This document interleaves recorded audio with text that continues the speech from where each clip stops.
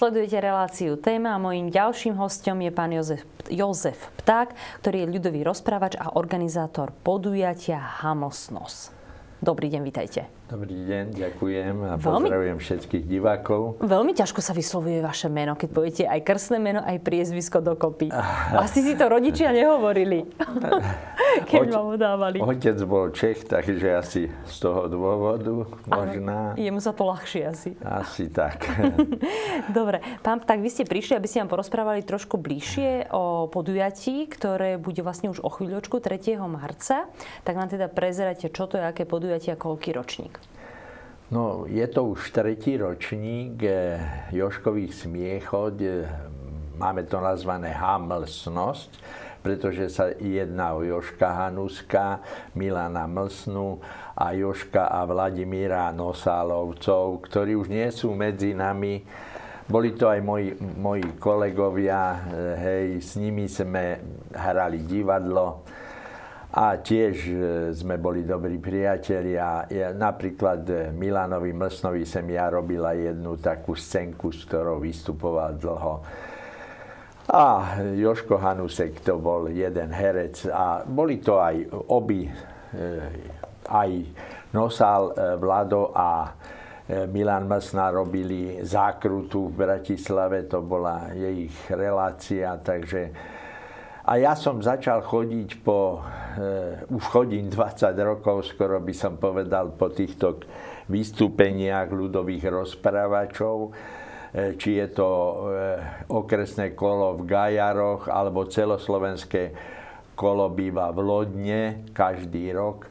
Takže mňa to napadlo, však v Pezinku je strašne veľa týchto ľudových rozprávačov, či už sú to v tých niektorých skupinách, či to boli obstrleze, alebo aj v iných, e, teraz Amádius, či jak sa volajú, ani presne neviem, kde sú obidvaja jedličkovci. Takže mňa to napadlo, že Pezinok by si to naozaj zaslúžil viac ako tieto, myslím, mesta, pretože tu vždy vychádzali e, títo ľudoví rozprávači a takže preto som mal to šťastie, že som našiel takých ľudí, či to bol Roman Máč, ktorý je dneska tiež poslancom, a či to bol Andel Miloš, e, ktorí veľmi mi pomáhali, aby sme to mohli e, zrealizovať. realizovať mm-hmm. hej.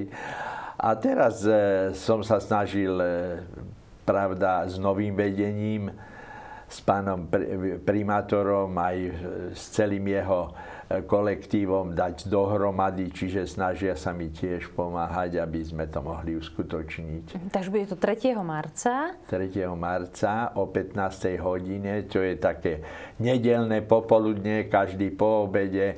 A bych povedal, že každý potrebuje sa v živote smiať.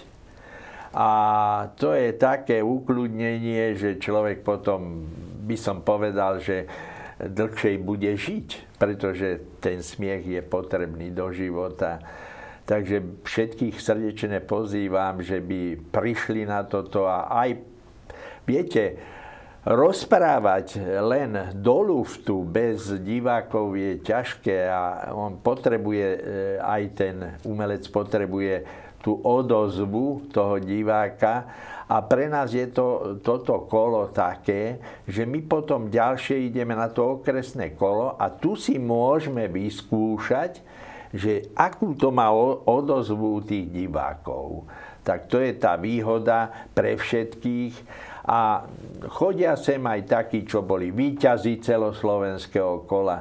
Aj som troška nahnevaný, že E, Pezinská televízia každý rok e, má milé príjme, ale už som aj ohlásil slovenskej televízii, že by mali prísť aj oni, že nie len jedného e, ľudového rozprávača dávajú, hej, Andera z Košíc, hej, ale máme tu aj amatérov a dá sa to nejak spropagovať aj inde. Tak, že dá sa to nejak takto urobiť.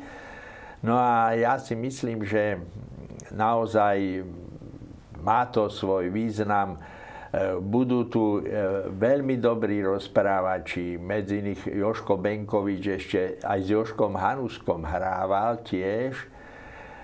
Z Lábuonie a budú tu z celého Slovenska, z Povazkej Bystrice, z Martina, z Kutov, z Gajar a z Modry, z Viničného a šesť Pezinčanov vystúpi. Takže je a dokopy, to, dokopy koľko vlastne bude vystúpení? No, bude 17 vystúpení.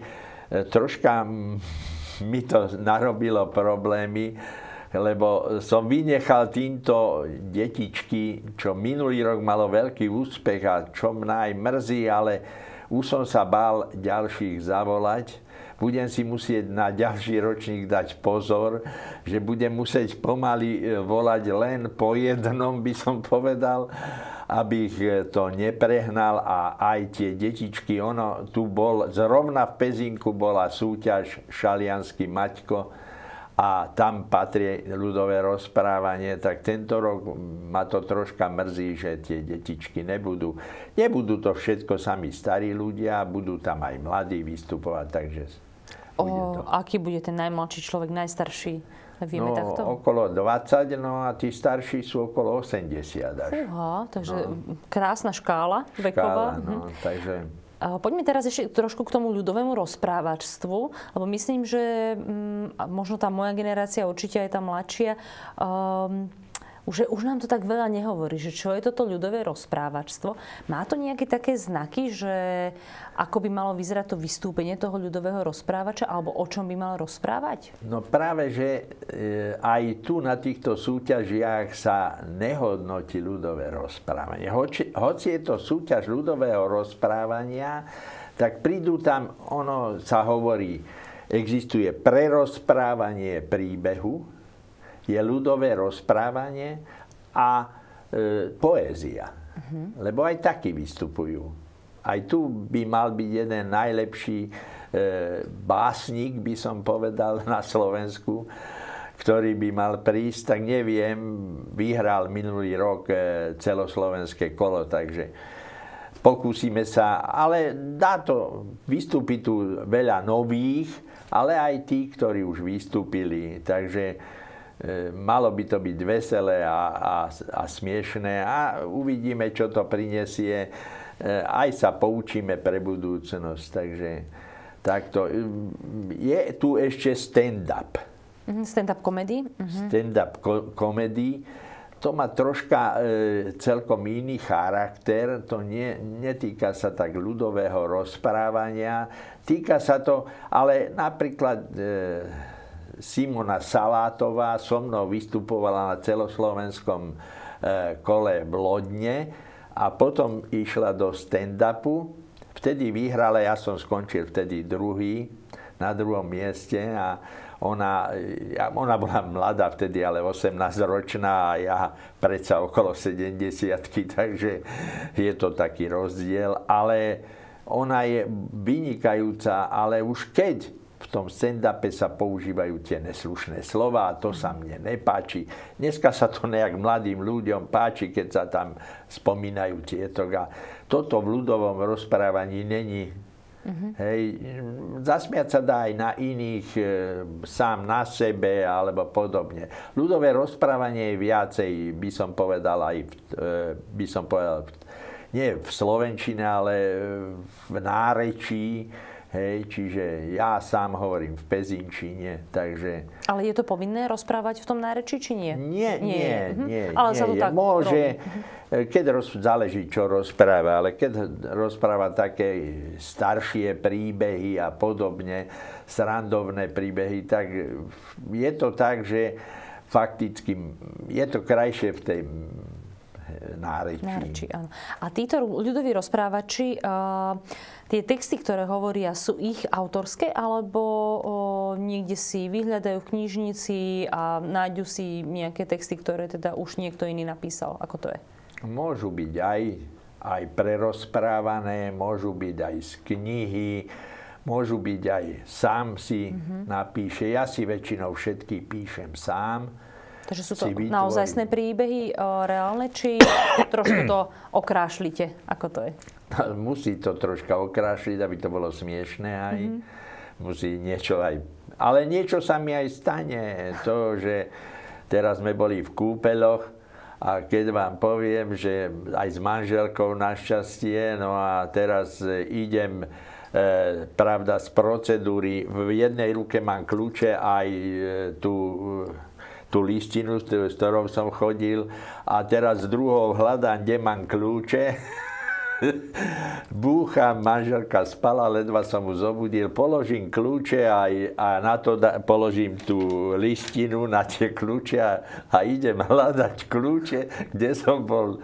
Takže takéto príbehy, keď sa vám stanú, tak potom to zapracujem na budúce do nejakého rozprávania. Vždy sa stane nejaký taký smiešný príbeh, ktorý sa dá zapracovať, takže nie je to problém aj budujete, alebo teda zapisujete si a mm, vytvárate si nejakú takú knihu týchto smiechot? No ja už mám, by som povedal, asi 20 či 30 príbehov a som chcel aj vydať knihu, ale nemám, kto by mi pomohol s tou knihou, takže preto to nevydávam ja. Je to škoda, lebo z toho to môžu čerpať aj tí mladí ľudia, môžu si niečo priberať E, mám svoje CD, to mám, ale nemám e, knihu ešte, ale dúfajme, buď mne sa to podarí, alebo keď tu nebudem, tak to deti spravia z toho knihu. E, ja sa pamätám ešte Michal Slívka, ten, od neho som mal ja ešte takú malú knižočku a tiež z toho som zo začiatku čerpal, takže malo to výhodu. Ako vy si sa stali ľudovým rozprávačom? Pamätáte si, že kedy ste prvýkrát takto nejako na verejnosti vystupovali a rozprávali nejaký ten príbeh? Ako to vlastne vzniklo, že vy ste ľudovým rozprávačom?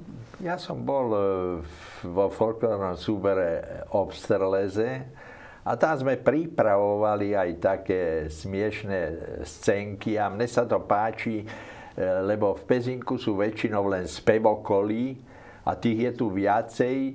A nie sú tu také, mne sa práve obstreleze páčili v tom, však aj teraz robili to divadlo, ale mne sa páčilo v tomto, že e, sme tam mohli aj tie scénky robiť. A z tých scénok e, fakticky ľudové rozprávanie, ja, ja som hrával divadlo a tým, že, väčšinou v komediálnych e, týchto, či veselohrách, mm-hmm. tak lepšie povedané, či od Karla Goldonyho Rozmarná žena, alebo ďalšie, ktoré som hral, Sluha dvoch pánov a podobné tak tam boli tie všetko takéto, jak ľudové rozprávanie by som povedal a ostalo mi to v krvi a, a tak sa snažím v tejto veci stále, aby som aj e, pezinku hľadal, aj mladých ľuďoch hľadal. E, bola škoda, že ma nezavolali na šalianského Maťka, ale ja som bol vtedy v Piešťanoch, takže aj tak bych nebol mohol ísť. Ale že už mi povedali, ma na budúce zavolajú aj do poroty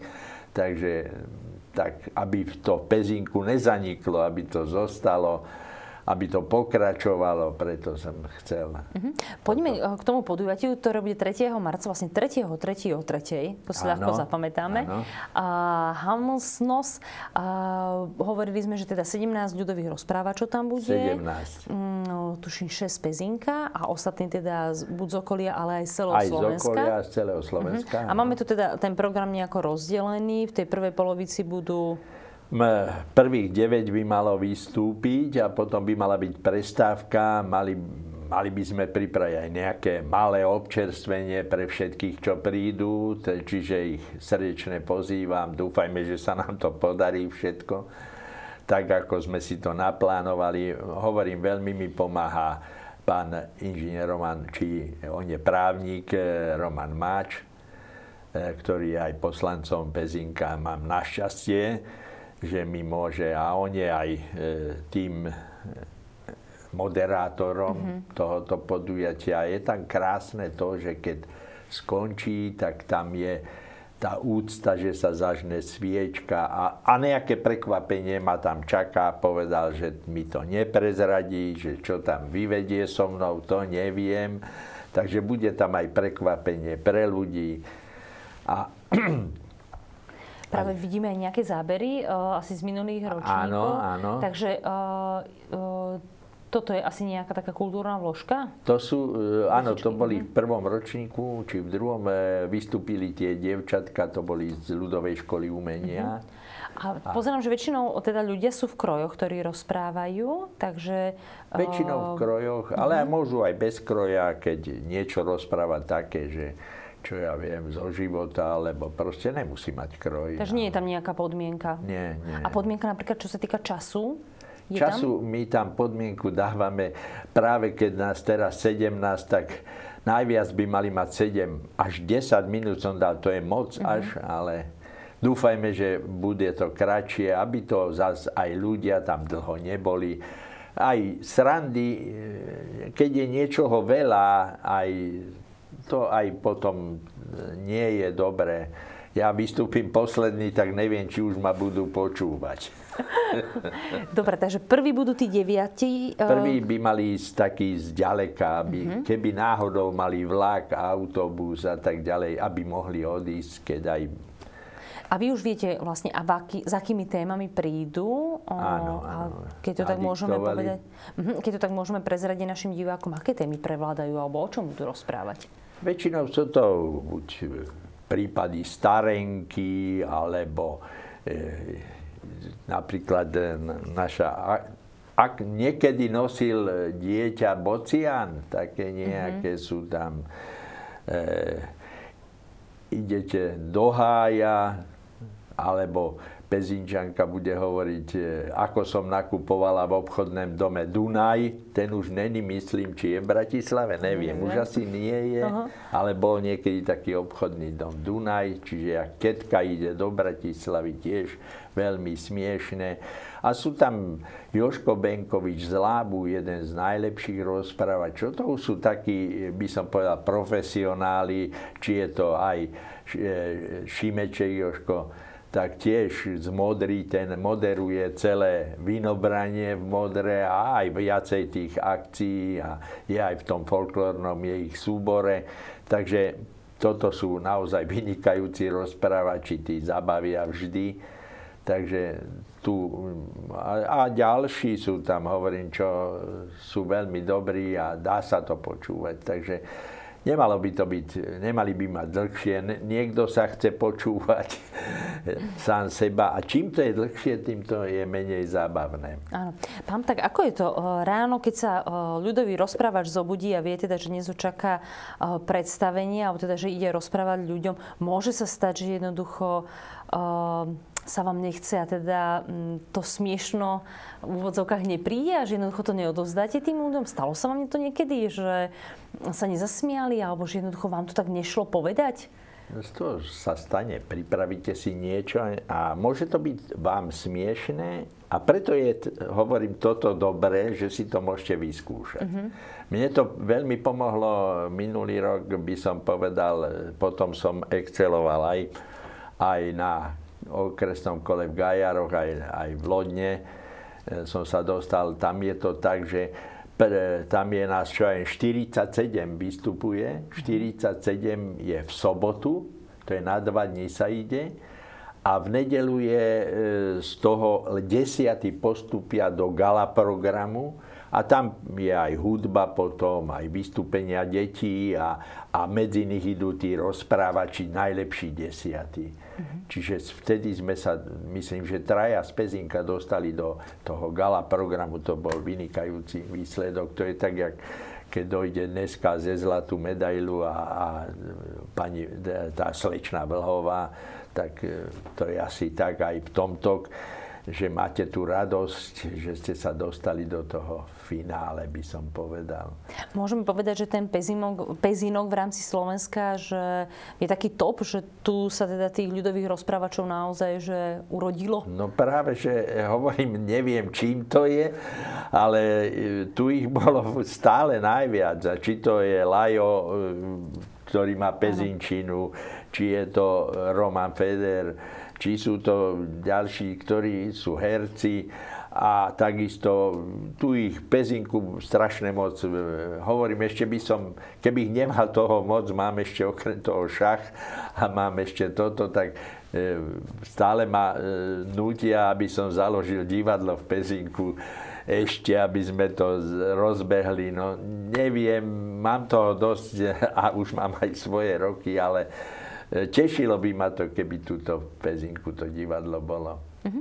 Uh, takže hovoríme o tom, že toto podujatie Hamosno uh, nie je súťaž, že je to len prehliadka. prehliadka. Ľudia jednoducho odprezentujú ten svoj príspevok, to svoje rozprávanie. No. Ľudia sa zabavia a ide sa domov.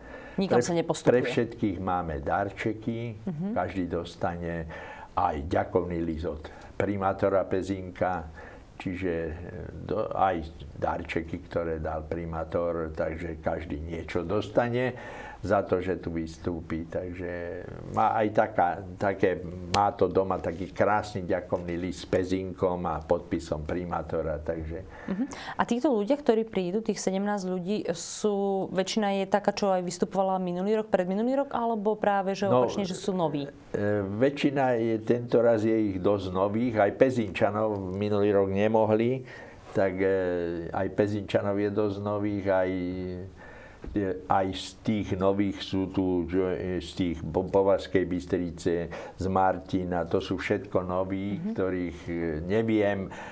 Uh, oni sa mi prihlásili, ja som ich ešte nevidel, takže neviem ich posúdiť, akí sú. A nebo nechodili ani do Lodna, takže uh, s nima som nebol v kontakte takýmto spôsobom. Ale prihlásili sa a myslím, že to prinesie nejaké oživenie, nejaké pekné Áno. zážitky s novými, vieme si potom spraviť pre budúcnosť, čo ako budeme ďalej pokračovať. Dobre, takže zopakujeme na záver 3. Eh, marca.